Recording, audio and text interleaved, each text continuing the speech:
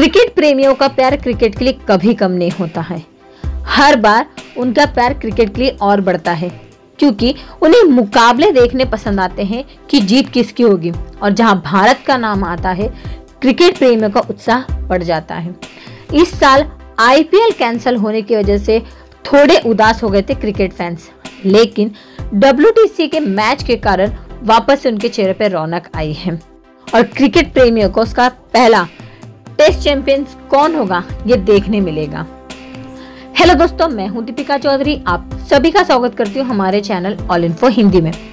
Cricket के 144 साल के इतिहास में दुनिया को उसका पहला टेस्ट चैंपियन मिलने जा रहा है।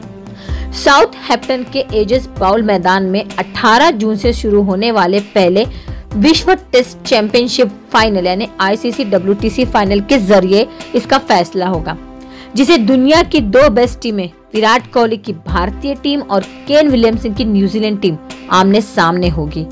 जिनके बीच एक ज़बरदस्त मुकाबले की उम्मीद क्रिकेट फैंस को और पूरा खेल जगत लगाए बैठा है।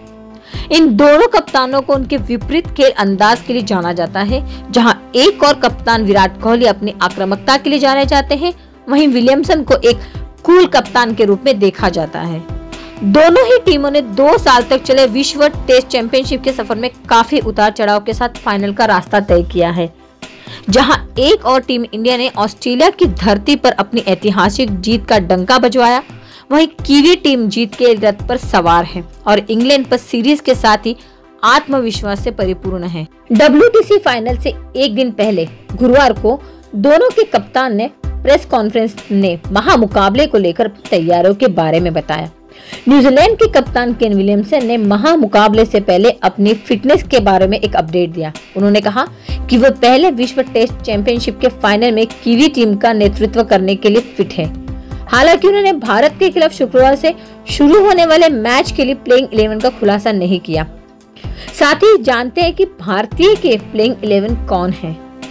विराट कोहली कप्तान, रोहित शर्मा, शुभमन गिल, चेतेश्वर पुजारा, अजिंक्य रहाणे, ऋषभ पंत रविंद्र जडेजा, आर अश्विन, जसप्रीत बुमराह, ईशांत शर्मा और मोहम्मद शमी।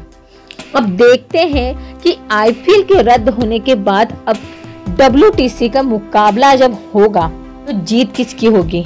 सर्वश्रेष्ठ रन कौन बनाता है? सीरीज़ किसके नाम होती है? और सबसे अच्छे विकेट कीपर कौन कहलाते हैं? और सबसे ज़्यादा विकेट कौन लेता है? दोस्तों, आपको क्या लगता है इन दोनों टीमों में हमारी भारत कितनी दमदार है? क्या वो न्यूजीलैंड को हरा कर ये खिताब अपने नाम कर लेगी?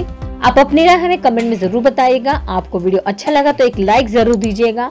और भी ऐसी जानकारी भरे वीडियो देखने के लिए हमारे चैनल ऑल इन हिंदी को सब्सक्राइब करें और साथ ही बेल आइकन को प्रेस करें ताकि नए वीडियो की सूचना आप तक पहुँचती रहे।